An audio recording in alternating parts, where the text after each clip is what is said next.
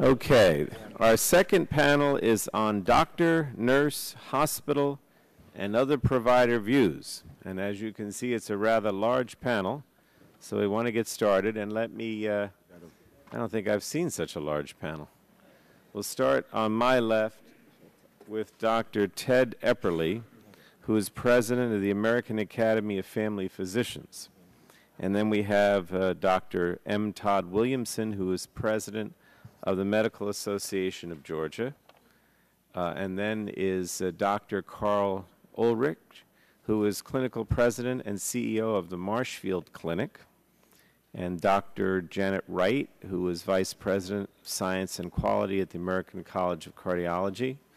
Dr. Kathleen White, who is chair of the Congress on Nursing Practice and Economics at the American Nurses Association. Um, Dr. Gabow, okay. Dr. Patricia Gabow, who is Chief Executive Officer of the Denver Health and Hospital Authority for the National Association, well, she'll be speaking for the National Association of Public Hospitals. Dan Hawkins, who is Senior Vice President, Public Policy and Research for the National Association of Community Health Centers. And Bruce Roberts, who is Executive Vice President and CEO of the National Community Pharmacists Association. Bruce Yarwood, President and CEO of the American Healthcare Association, and Alissa Fox, who is Senior Vice President of the Office of Policy and Representation for the Blue Cross Blue Shield Association. Now, before we begin, I just wanted to make um, uh, point something out um, that I believe has been shared with staff, but I think needs to be repeated because of the panel. Uh, it would touch upon some of the things, particular with regard to uh, um, community health centers.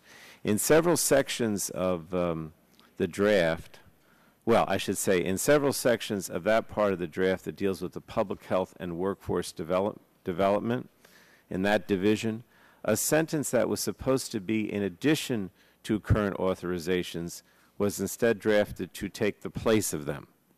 So instead of in addition, it says to take the place of in that division. And this is an error. It was caught on Friday afternoon, uh, shortly after the draft was announced, and we did uh, notify both Democrat and Republican committee staff of the mistake. Um, and corrections have been sent to the Office of Legislative Counsel. But I did want to point that out before I started here today because I wasn't sure that all of you who are testifying were aware of that. Uh, the mistake is particularly glaring in the provision related to community health centers. And I think Mr. Hawkins knows this but just let me point it out to everyone that the draft is supposed to include an additional 12 billion over five years in new money, and that's over and above the current appropriation. And um, again, that's why we have drafts, I guess. But let us start. As you know, we ask you to keep your comments, your uh, oral comments to five minutes, and of course, all of your written testimony will be uh, included in the in the uh, record. And we'll start with uh, Dr. Epperly. Chairman Pallone, Ranking Member Deal, and members of the Energy and Commerce Health Subcommittee. I'm Ted Epperly, President of the American Academy of Family Physicians, which represents 94,600 members across the United States. I'm a practicing family physician from Boise, Idaho. I'm delighted to say that your draft bill goes a long way towards providing quality, affordable health care coverage for everyone in the United States. The AAFP has called for fundamental reform of our health care system for over two decades. We commend you for your leadership and commitment to find solutions to this complex national priority. We appreciate efforts to improve primary care through this draft bill. The Academy believes that making primary care the foundation of health care in this country is critical. Primary care is the only form of health delivery charged with the long-term care of the whole person and has the most effect on health care outcomes. Primary care is performed and managed by a personal physician leading a team collaborating with other health professionals, and using consultation or referral as needed. Many studies demonstrate that primary care is high quality and cost effective because it includes coordination and integration of healthcare services. The Academy believes the key to designing a new healthcare system is to emphasize the centrality of primary care by including the patient-centered medical home where every patient has a personal physician, emphasizing cognitive clinical decision making rather than procedures, and ensuring the adequacy of our primary care workforce, and aligning incentives to embrace value over volume. Many of these key provisions are contained in your draft legislation. Specifically, we applaud the committee for including a medical home pilot program in Medicare as a step towards a primary care system. Your definition of the patient centered medical home is consistent with the one established by the AAFP and other primary care organizations. We also support the PCMH demonstration project in Medicaid. Use of the medical home will achieve savings and improve quality. We appreciate the inclusion of a bonus of 5% for primary care services and up to 10% for services provided in a health profession shortage area. We urge you to make this bonus permanent. Medicare is a critical component of the U.S. health system and must be preserved and protected. With this draft, you take the first bold steps needed to remedy the Medicare physician payment system. The AAFP appreciates your recognition of the long-standing problems with the dysfunctional formula known as the Sustainable Growth Rate, or SGR. We thank you for proposing that it be, that it be rebased. This is an important, necessary, and welcome step. We also appreciate the bill's attention to workforce issues. Numerous studies indicate that more Americans depend on family physicians than on, uh, than on any other medical specialty. We are deeply concerned about the decline in the number of medical students pursuing a career in primary care at a time when the demand for primary care services will only be increasing. The majority of health care is provided in physicians' offices now and will be in the future. We must revitalize the programs to train the primary care physician workforce that will meet our needs in those locations. We thank you for reauthorizing and providing a substantial investment in the Section 747 of the Health Professions Primary Care Medicine Training Program. The National Health Care Workforce Commission in the discussion draft is needed to recommend the appropriate numbers and distribution of, of physicians. The AAFP is also pleased that the Medicaid title provides for a substantial expansion of coverage to the uninsured. In particular, we support increases to the Medicaid primary care payment so that it is equal to Medicare by 2012. The AAFP supports a public plan option consistent with the principles included in our written testimony. Patients should have a choice of health plans, and a public plan should be one of them. However, the public plan should not be Medicare. We acknowledge that for transition purposes, there may be some similarities to the federal program, but we urge Congress to delink the public plan from Medicare by a date certain. The AAFP strongly supports the inclusion of comparative effectiveness research in the draft bill. We appreciate the establishment of a center within the Agency for Healthcare Research and Quality. If we wish to improve the patient care and control costs in this country, this type of research is crucial. It is only with CER that we can provide evidence-based information to patients and physicians for use in making healthcare decisions. Finally, we support a number of insurance market changes that will help our patients in regards to the health insurance exchange, where they can one-stop shop for a health care plan, a sliding scale subsidy so that people can purchase meaningful coverage, guaranteed availability and renewability of coverage, prohibition of pre-existing conditions, exclusions and denials, and benefit packages that allow consumers to select the one that best meets their needs as well as a requirement for a core set of benefits. In conclusion, the Academy believes that health care should be a shared responsibility and applauds the section of the bill that requires all individuals have coverage. Now is the time to provide affordable, high-quality health care coverage. The status quo is not working. We urge Congress to invest in the health care system we want, not the one we have. Thank you very much, Mr. Chairman. Thank you, Dr. Epperly. Dr. Williamson. Good morning, Chairman Pallone and Mr. Deal. My name is Todd Williamson, and I want to thank you for the opportunity to speak to you today. I'm a neurologist from Atlanta, and I serve as the president of the Medical Association of Georgia, and I'm speaking on behalf of that association. I recently had the privilege of speaking on behalf of a coalition of 20 state and specialty medical societies representing more than 100,000 physicians, which is nearly half of the practicing physicians in the United States. This coalition believes that ensuring the patient's right to privately contract with their physician is the single most important step we could take to reform our medical care system. I would like to begin by addressing three assumptions that underpin the discussion draft. The first relates to geographic disparities in spending. Peter Orszag recently said that nearly 30% of Medicare's costs could be saved without negatively affecting health outcomes if spending in high and medium cost areas could be reduced to the level in low cost areas. We do not agree. This flawed claim was first made by the Dartmouth Group, which used only Medicare data to analyze spending and quality. Please consider the work of Dr. Richard Cooper, which shows that an examination of total medical spending per capita reveals that quality and costs are indeed connected. He also demonstrates that Medicare payments are disproportionately higher in states with high poverty levels and low overall medical care spending. The suggestion that our medical care expenditures are greater than other countries is also misleading. Countries account for expenditures such as out of pocket payments and the cost of long term care in different ways. Some countries drive down costs by rationing care. The cost of research and development distorts our expenditures as well. A third faulty assumption is that medical care outcomes in the United States are worse than in other countries. America's often cited infant mortality statistics cannot be co- directly compared to statistics from other countries that do not record the deaths of low birth weight newborns that we try to save. Comparisons of a host of specific diseases, such as diabetes, clearly show our outcomes are superior. We cannot support and would actively oppose the discussion draft. As I noted, we believe that allowing patients and physicians to privately contract is the single most important step we can take towards reforming the nation's medical care system. This will empower patients to choose their physician, spend their own money on medical care, and make their own medical decisions.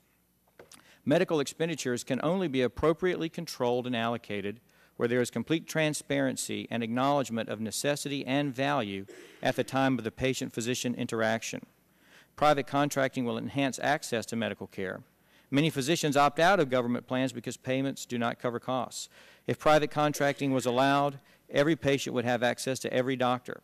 This option is currently not available under government plans and is prohibited in the discussion draft. Critics cite that private contracting will disadvantage impoverished patients.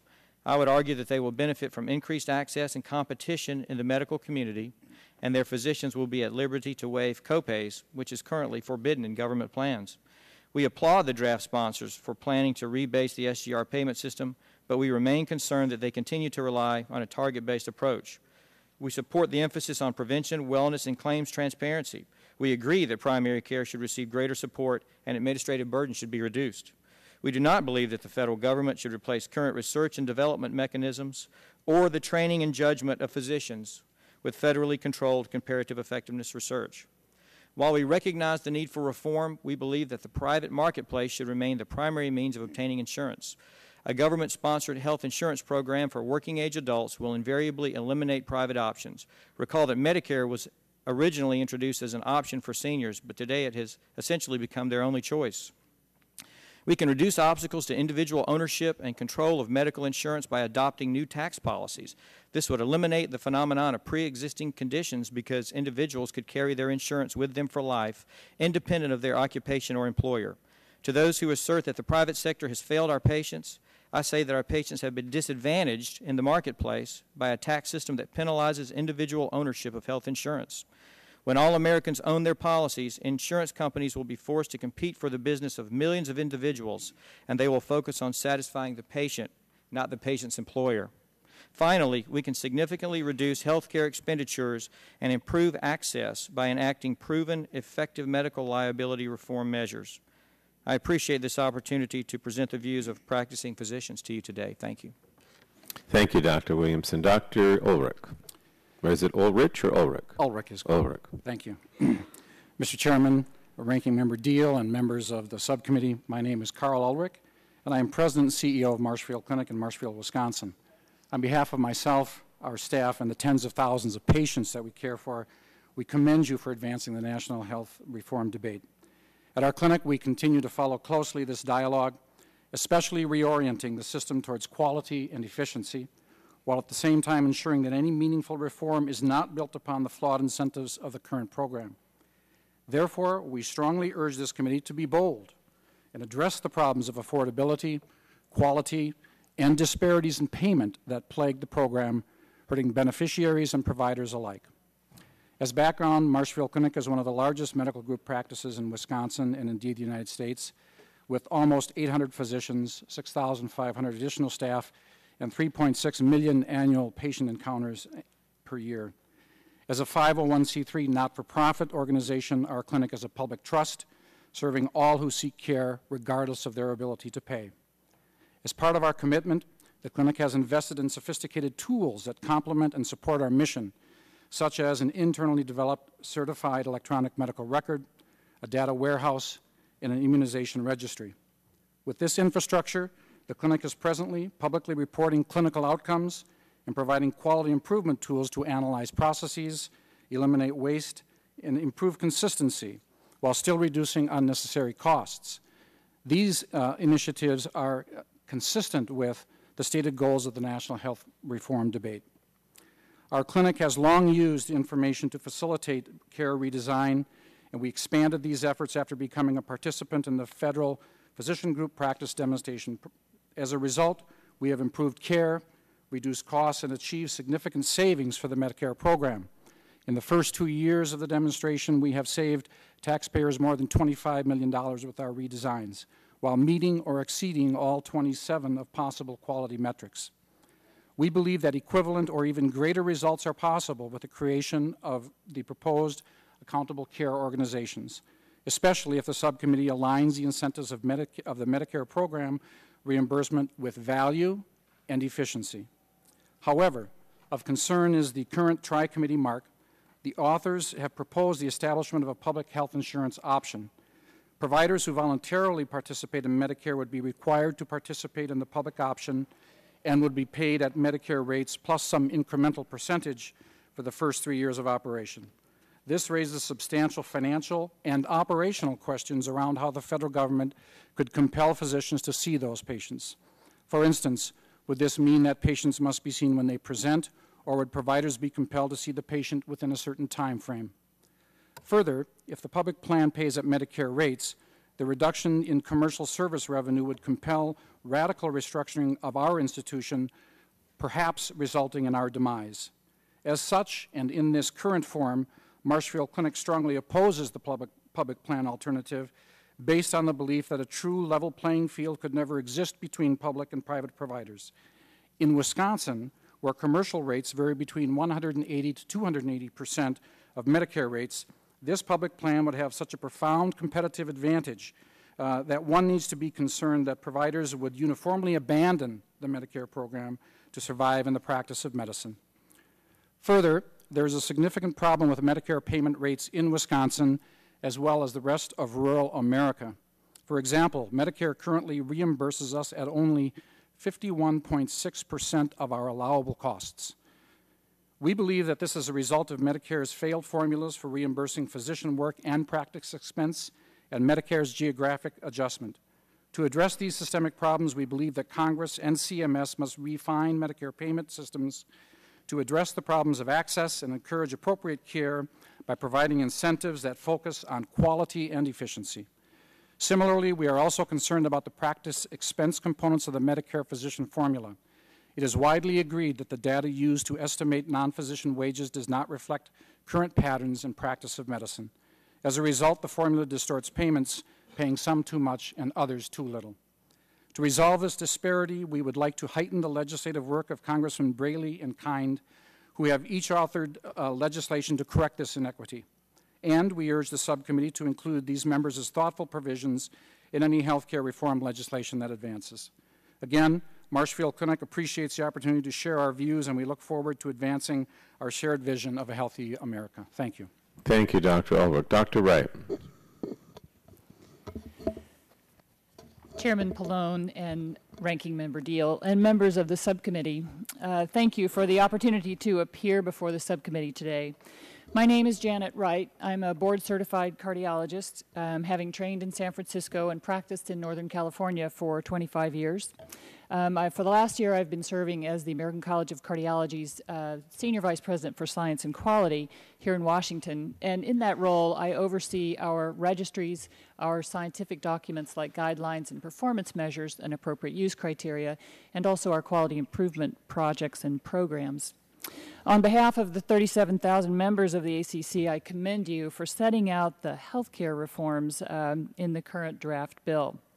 We see so many improvements, and we commend you and applaud your efforts to both attend to and correct the flawed physician payment model. Uh, we also register concerns about um, proposed cuts in imaging and the effect they may have on patients' access to care. But in, uh, in broad overview, the ACC is completely committed to comprehensive reform, and uh, we are very grateful for your attention to the matter. Uh, Ranking Member Barton invited me to speak today about his draft proposal, the Healthcare Transparency Commission Act of 2009, and I'm delighted to offer these comments. The American College of Cardiology values performance measurement, its analysis and improvement, and it demonstrates this commitment through a 25 year history of producing guidelines uh, for clinical practice. The more recent generation of a particular kind of guidance called appropriate use criteria to help clinicians choose the appropriate type of treatment or technology or procedure that best fits that patient's clinical scenario. And then our efforts in what's now called implementation science, taking what we know works and trying to get that into the practice of medicine in a systematic way.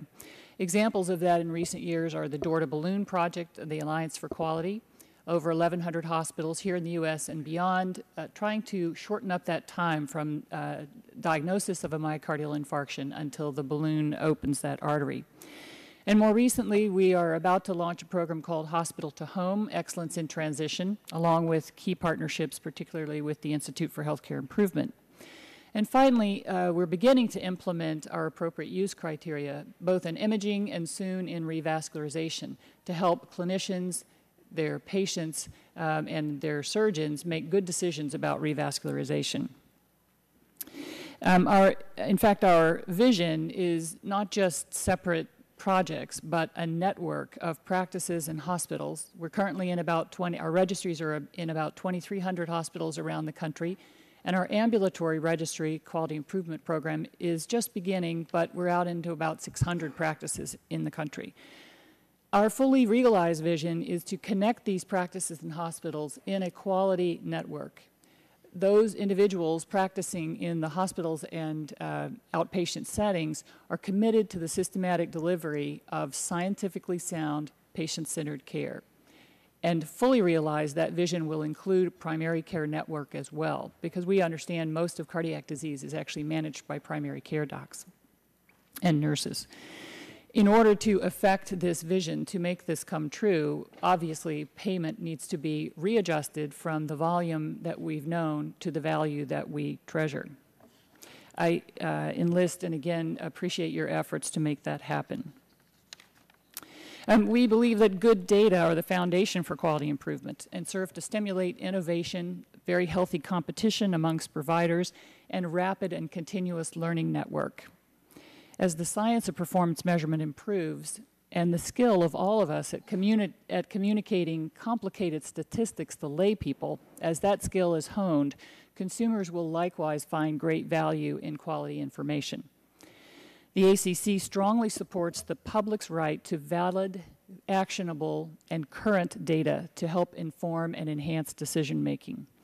We find Mr. Barton's proposal to be a laudable one and should Congress proceed in this direction, we recommend consideration of the following principles. These were published in 2008, and I'm only going to hit the high points. Uh, but number one, these five principles. Number one, the driving force for performance measurement and public reporting should be quality improvement. We acknowledge and support Mr. Barton's critical inclusion in his draft bill of quality ratings along with pricing information. Number two, public reporting programs should be based on performance measures with scientific validity. Number three, public reporting programs should be developed in partnership with healthcare professionals, those being measured. Number four, every effort should be made to use standardized data elements to assess and report performance and to make the submission process uniform across all public reporting programs. This helps reduce the measurement fatigue and the disengagement that we often see in healthcare professionals who are exhausted with the effort of measuring. Number five, uh, performance reporting should occur at the appropriate level of accountability. I think this is true in all areas of medicine, but certainly in cardiology, the most effective care is delivered by teams. Focusing on an individual within that team may skew the measurement and the uh, result of that measurement in a way that has adverse consequences. Dr. Ray, just uh, you're almost a minute over, so oh, just I'm if you could just Okay. Summarize. Number six is uh, avoiding those unintended con- consequences. Thank you very much. Thank you, sorry. Uh, Dr. White. Your mic is not on. You have to turn that green light on and then bring the mic a little closer. Chairman Pallone, Ranking. Member Deal, distinguished committee members and congressional staff. I'm Kathleen White, a registered nurse speaking today on behalf of the American Nurses Association, and we thank you for this opportunity to testify.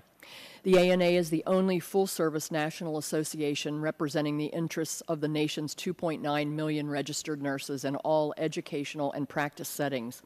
ANA advances the nursing profession by fostering high standards of nursing practice. ANA commends the committee for its work in the Tri Committee's draft legislation, which represents a movement toward much needed, comprehensive, and meaningful reform for our healthcare system. We appreciate the committee's recognition that in order to meet our nation's healthcare needs, that we must have an integrated and well-resourced national workforce policy that fully recognizes the vital role of nurses and other healthcare providers and allows each to practice to the fullest extent of their scope. ANA remains committed to the principle that healthcare is a basic human right and all persons are entitled to ready access to affordable, quality healthcare services that are patient centered, comprehensive, and accessible. We also support a restructured healthcare system that ensures universal access to a standard package of essential healthcare services for all. That is why ANA strongly supports the inclusion of a public health insurance plan option as an essential component of comprehensive health care reform. We believe that inclusion of a public plan option would assure that patient choice is a reality and not an empty promise, and that a high quality public plan option will, above all, provide the peace of mind that is missing from our current healthcare environment. It will guarantee the availability of quality, affordable coverage for individuals and families no matter what happens and generate needed competition in the insurance market.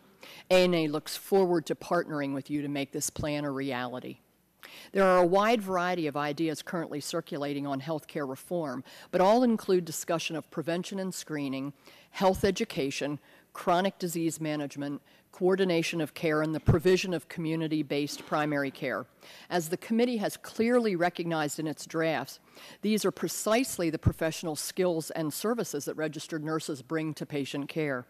As the largest group of healthcare professionals, registered nurses are educated and practice within a holistic framework that views the individual, family, and community as an interconnected system.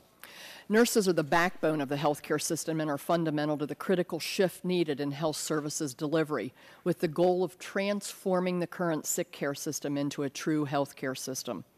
ANA deeply appreciates the committee's recognition of the need to expand the nursing workforce and thanks you for your commitment to amend the Title VIII nursing workforce development programs under the Public Health Service Act and commend the inclusion of the definition of nurse managed health centers under the Title VIII definitions. We applaud the removal of the 10% cap on doctoral traineeships under the Advanced Education Nursing Grant Program and the inclusion of special consideration to eligible entities that increase diversity among advanced educated nurses. Additionally, the expansion of the loan repayment program eligibility to include graduates who commit to serving as nurse faculty for two years will help address this critical shortage of both bedside nurses and nursing faculty. We're also grateful for the funding stream created through the Public Health Investment Fund and the commitment of dollars through 2014 that would offer vital resources and much needed funding stability for these Title VIII programs. ANA applauds the use of community based multidisciplinary teams to support primary care through the medical home model. ANA is especially pleased that under this proposal, nurse practitioners have been recognized as primary care providers and authorized to lead medical homes. Nurse practitioners' skills and education, which emphasize patient and family centered whole person care, make them particularly well suited providers to lead in the medical home model, focused on coordinated chronic care management and wellness and prevention. Many recent studies have demonstrated what most healthcare consumers already know.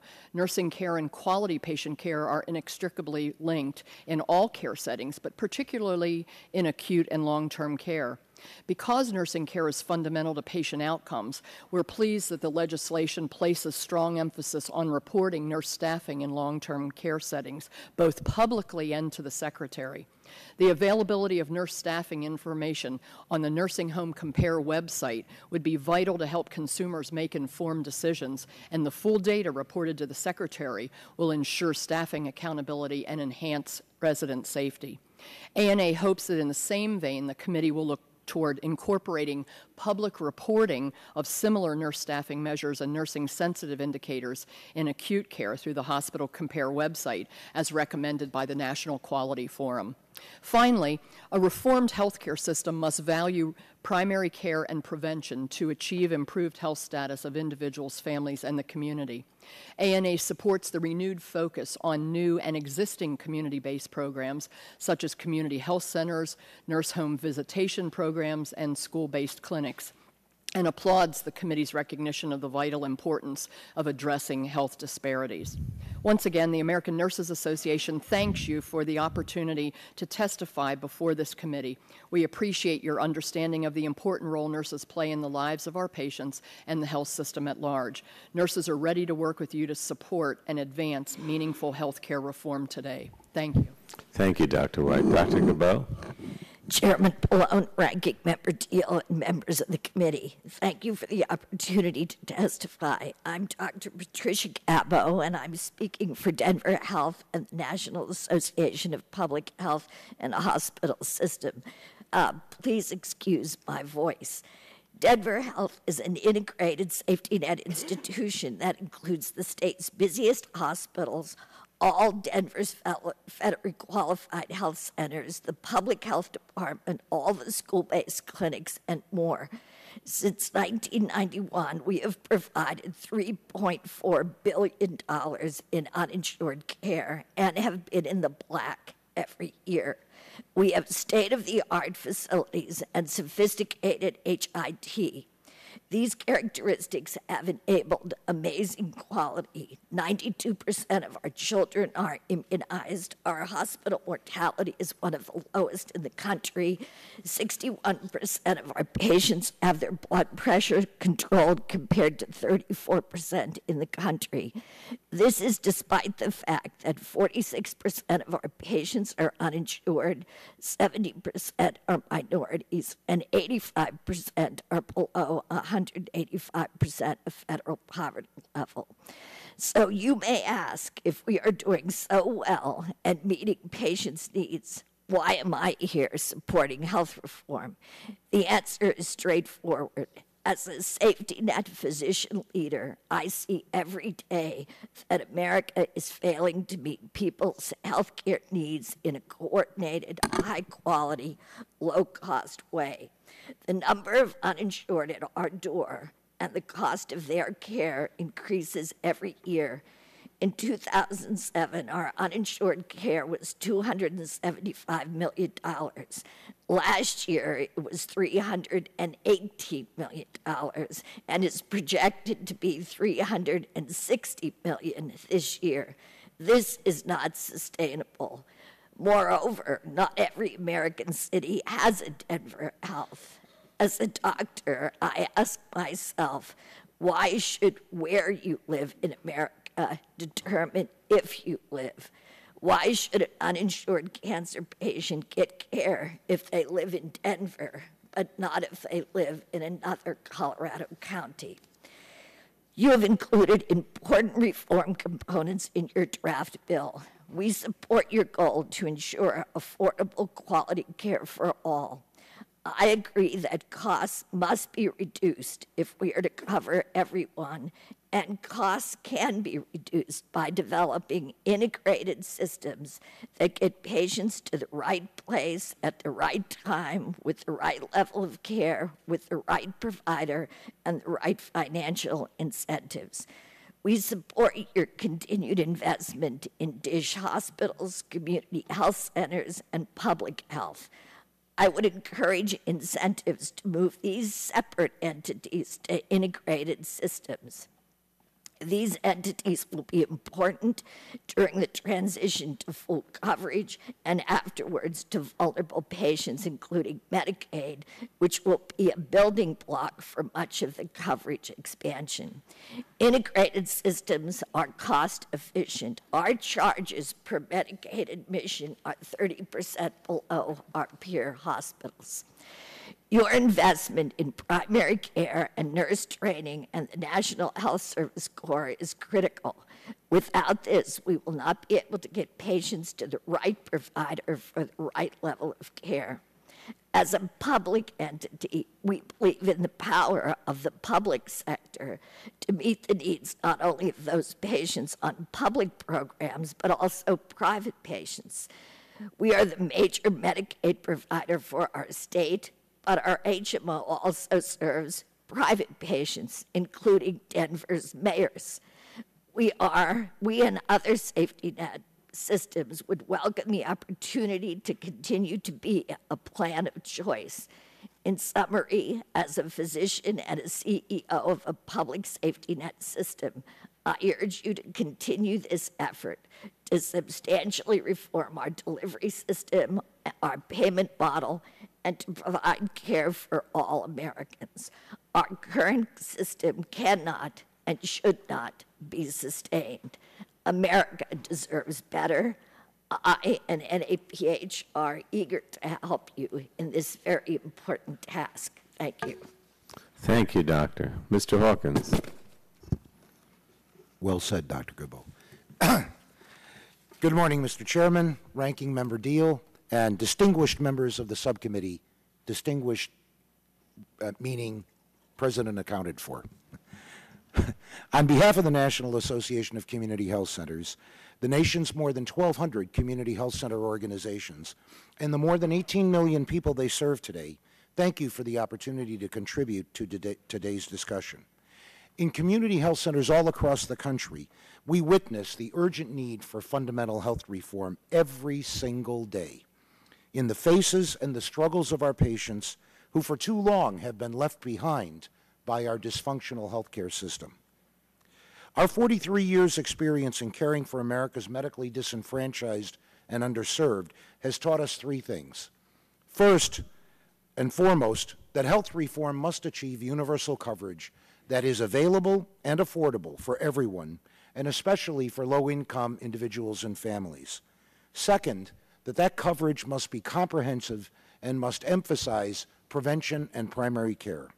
And third, that it must guarantee that everyone has access to a medical or a health care home where they can receive high quality, cost effective care for their needs. Mr. Chairman, we believe that the plan we have before us today meets those principles and also moves our nation much closer to achieving the equity and social justice in healthcare that has proven so elusive over the past century. Community health centers strongly support the draft legislation's call to expand Medicaid to cover everyone with incomes up to 133% of poverty without restriction. This Medicaid expansion may well be the most important and the most essential feature of this plan, especially for the patients we serve.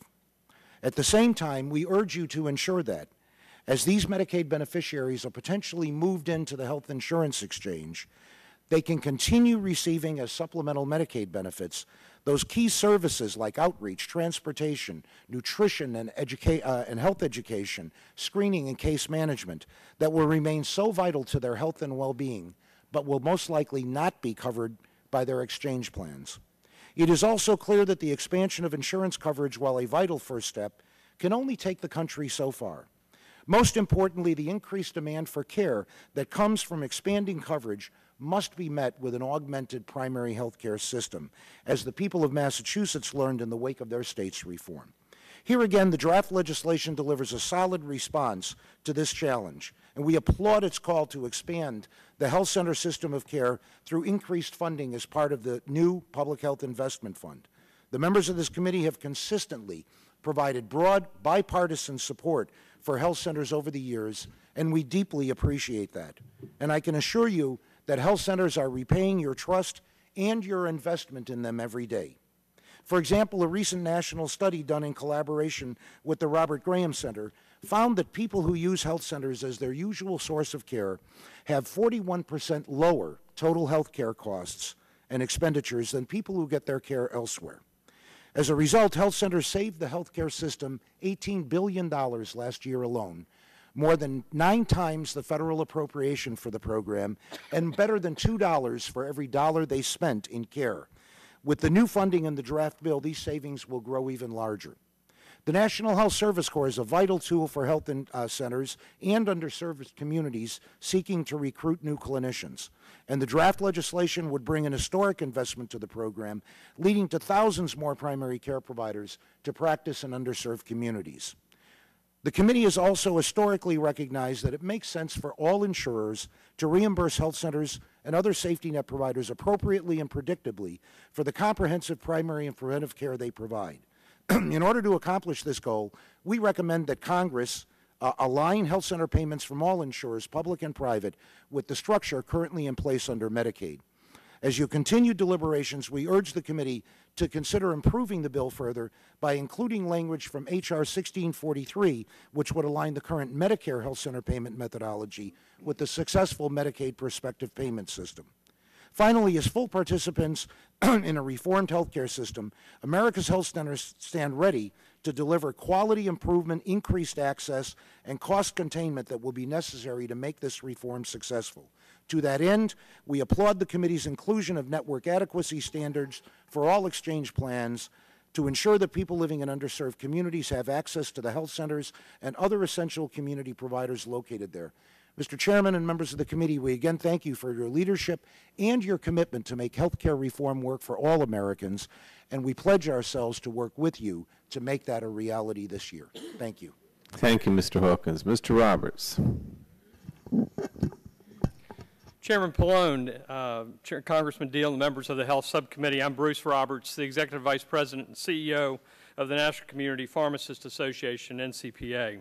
I'm a licensed pharmacist in the state of Virginia, and I've owned uh, four community pharmacies over the last 33 years in Loudoun County, Virginia. NCPA represents the owners and operators of 23,000 independent community pharmacies in the United States. We appreciate the opportunity to testify uh, for, before you today on the role of pharmacy in healthcare reform.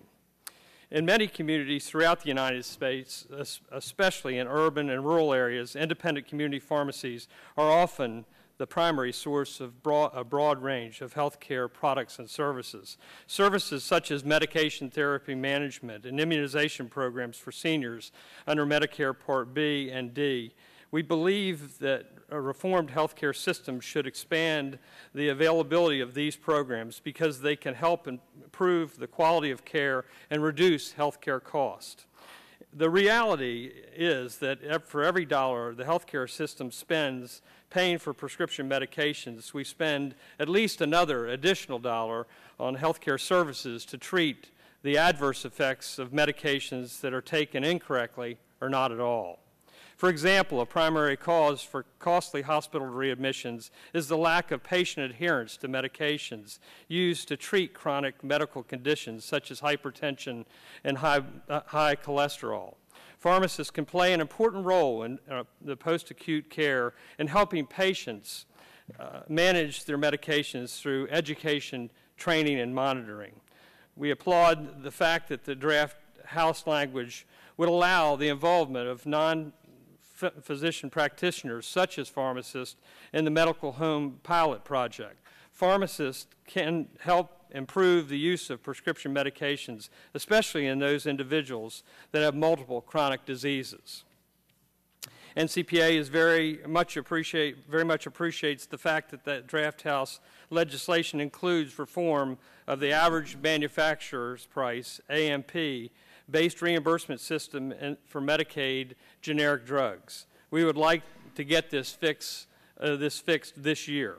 We are concerned that the Medicaid generic reimbursement at 130% of the weighted average AMP as proposed in the draft House bill, combined with low dispensing fees paid by states, will in total still significantly underpay pharmacies for the dispensing of low cost generic generics in the Medicaid program. This could create a disincentive for the use of generic drugs, causing a rise in Medicaid costs over the long term. NCPA asked the committee to consider a higher FUL reimbursement rate for generic medications, especially for critical access community pharmacies that serve a higher percentage of Medi the Medicaid recipients or rural pharmacies. With respect to our ability to continue to provide durable medical equipment, DME, uh, to Medicare beneficiaries, we believe that the requiring, requiring state licensed, state supervised community retail pharmacies to obtain, obtain both accreditation and surety bonds to simply sell DMEPOS items such as diabetes testing supplies to Medicare beneficiaries is basically overkill. Thousands of pharmacies across the country, mostly small pharmacies, will not be accredited at all or not be finished the accreditation process by October 1st, which will mean that they will be, not be able to provide diabetes testing supplies for Medicare beneficiaries.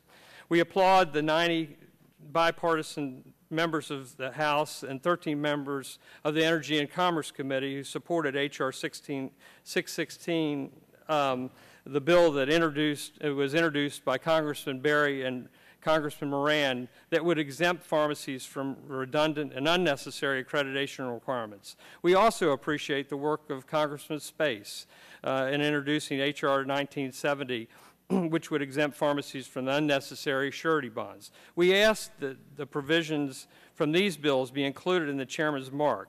If there is willingness to exempt pharmacies from these requirements, we ask that Congress consider acting by October 1st, which is the deadline for providers to attain accreditation and surety bond. Finally, I would make a, a, few comments regarding the public plan option. Under the House proposal, payment rates for prescription drugs under the public plan proposal would be negotiated by the Secretary. We would be very concerned given this, giving the Secretary authority to set payment rates for prescription drugs without some basic guidance uh, to how these rates should be established and updated. We also ask that the language be clarified such as the administration of any benefit under the public plan would be accomplished by a pharmacy benefit administrator as opposed to a pharmacy benefit manager. We would prefer a model used in the Medicaid program or in the Department of Defense TRICARE program where the administrator is used. Under this model, most, if not all, the negotiated drug manufacturer rebates would be passed through to the public program.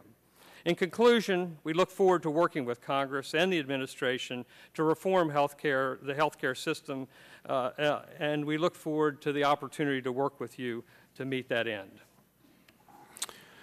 Thank you, Mr. Roberts. Uh, Mr. Yarwood. Yes, sir.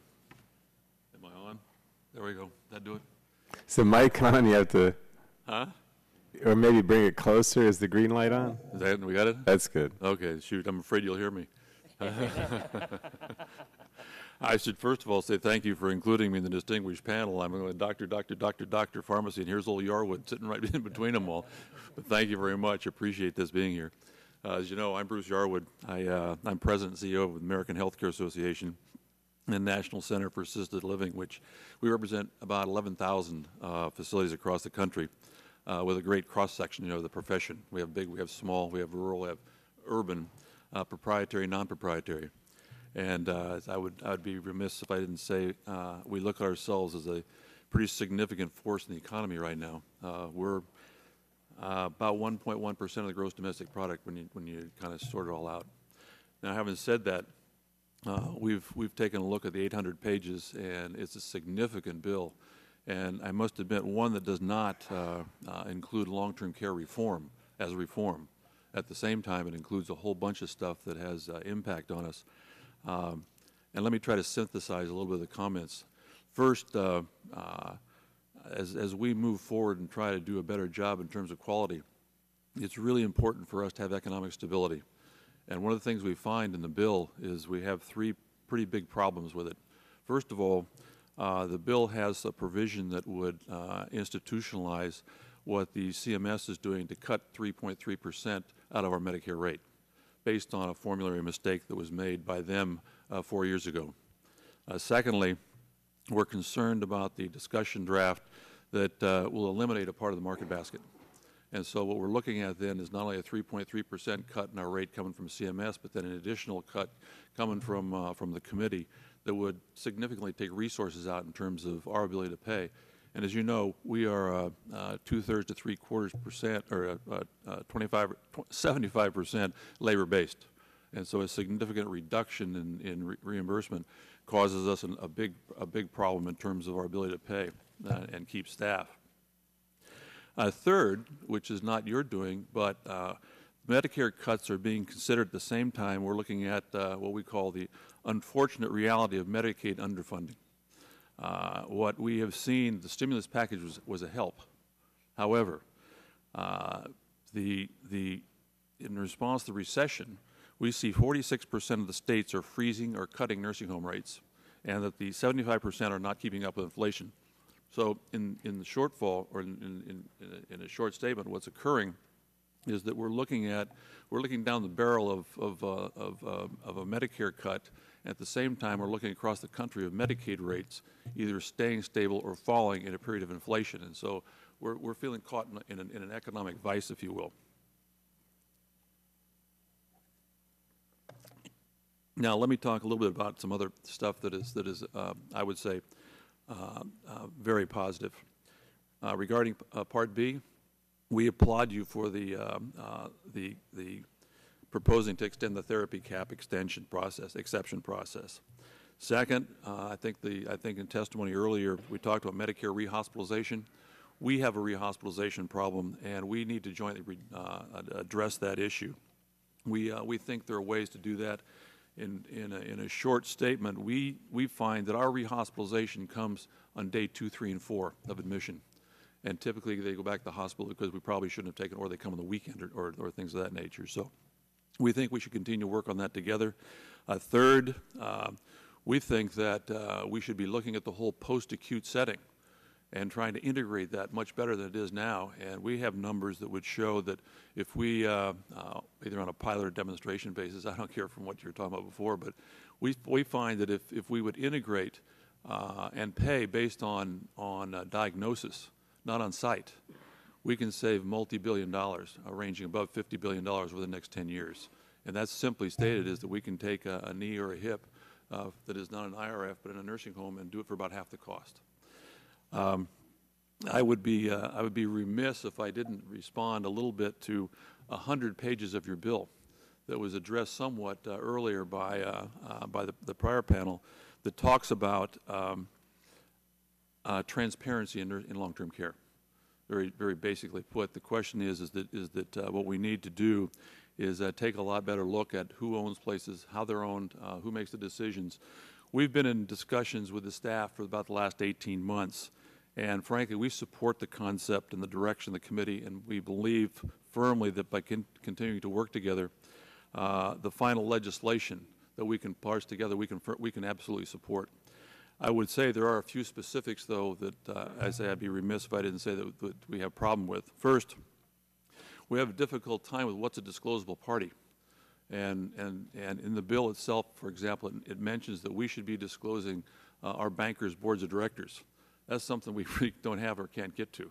Uh, secondly, uh, we, we would suggest the provisions that, uh, that you're looking at be tailored to uh, uh, talk about exactly who we want to disclose. Uh, we take a look at the bill and, and, we're in the position of disclosing people like uh, who, we lands, who our landscapers are, painters are, and things of that nature that don't have a significant amount. So we think we can work that out. Third, uh, we heard a lot about compliance programs from the Inspector General. We have no problem with compliance programs, but what we need is ta tailor those based on the size of the facility. Uh, A, a, compliance program for Kindred Healthcare that's the largest in the country versus a compliance program for a 35-bed facility in Oakland are two different things. So we just need to be uh, sympathetic as to what those are. I got a, you're a minute over. Yeah, by uh, a minute. Well, then let me say this. Uh, thank you very much for letting us be here. Uh, we certainly want to work together, and there's some great things in, in the uh, the workforce area and that, and, and as the transparency stuff, uh, we're here to make it work for you. Thank you. Thanks a lot, Ms. Ms. Fox. Oh, sorry. Thank you very much, Chairman Pallone, Ranking Member Deal, and other members of the committee. I really appreciate the opportunity to be here today. Blue Cross Blue Shield plans strongly support enactment of health reform. We must rein in costs, improve, improve quality, and importantly, we must cover everyone. Today, the Blue system provides coverage to more than 100 million people in every community and every zip code in this country. For the past two years, we have been supporting five key steps to reform our system. First, we believe Congress should encourage research on what treatments work best by establishing a Comparative Effectiveness Research Institute. We are very pleased the House draft bill recognizes the importance of this key step. Second, in order to attack rising costs, we must change the incentives in the payment systems, both private and in Medicare, to promote better care instead of just more services. The draft bill includes some of the Medicare delivery system recommendations we support. We also agree with provisions in the bill to help build an adequate medical workforce to care for everyone in the country. Third, consumers and providers should be empowered with information and tools to make more informed decisions. Fourth, we need to promote health and wellness and prevention and manage care for those with chronic illnesses. Finally, we believe a combination of public and private coverage solutions are needed to make sure everyone is covered. We support a new individual responsibility program for all Americans to obtain coverage, along with subsidies to ensure coverage is affordable. We also support expanding Medicaid to cover everyone in poverty. We are also supporting major reforms in our own industry, including new federal rules to require insurers to open the doors, accept everyone, regardless of pre existing conditions, and eliminate the practice of, of varying premium, premiums based upon health status. And we also support a national system of state exchanges to make it easier for individuals and small employers um, to purchase coverage. I know there's a perception that this is a new position for the insurance industry. It's not for the blue system. We had the same position in 1993. Um, we appreciate this opportunity to comment on the Tri-Committee bill. We support the broad framework of the bill, which includes many of the critical steps we believe are needed.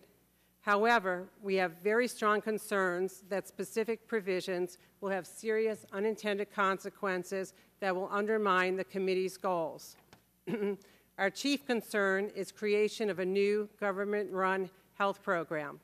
We believe a government-run health program is unnecessary in, for reform and will be very problematic for three reasons. First, many people are likely to lose the private coverage they like and be shifted into the government plan. This is because the government plan will have many price advantage, advantages that private plans won't, um, including paying much lower Medicare rates than the private sector. This is enormous advantage on its own, as Medicare rates are already 20 to 30 percent lower than what we pay in the private side, and that's a national average. I think here you heard Marshfield Clinic talk about um, much huger variations um, in Wisconsin. But there are other advantages in the bill as well. I'll give you two examples. Individuals in the government plan, they can only sue in federal court for the denied services. However, individuals in private plans can sue in state court for punitive, compensatory, and other damages. In addition, private plans would have to meet 1,800 separate state benefit and provider requirements, while the government plan would not. Second, the draft bill would underpay providers in the government plan. This is likely to lead to major access issues in the healthcare system, such as long waits for services. And third, the government plan would undermine much needed delivery system reforms that are critical to controlling costs. We agree Medicare needs to be reformed to reward high quality care. We commend the committees for including reforms to modernize Medicare. However, history has shown the government can be slow to innovate and implement changes due to the complex legislative and regulatory processes. The private sector, on the other hand, is free to innovate. And let me just give you one example um, from our program that is improving outcomes and lowering costs through our Blue Distinction Centers of Excellence. Recent data shows that readmission rates at our cardiac care centers around the country are, have 26 to 37 percent lower readmission rates than other hospitals. In closing, I would like to emphasize the Blue System's strong support for healthcare reform, including major changes in how insurers do business today. We believe the federal government has a vital and expanded role to play in reform by expanding Medicaid to cover everyone in poverty and enrolling all the people that are now eligible um, for Medicaid coverage. By reforming Medicare to pay for quality and assuring Medicare's long-term solvency, and setting strict new rules for insurers to assure access to everyone regardless of, of their health. We are committed to working with all of you to enact meaningful health care reform this year. Thank you very much. Thank you, Ms. Fox.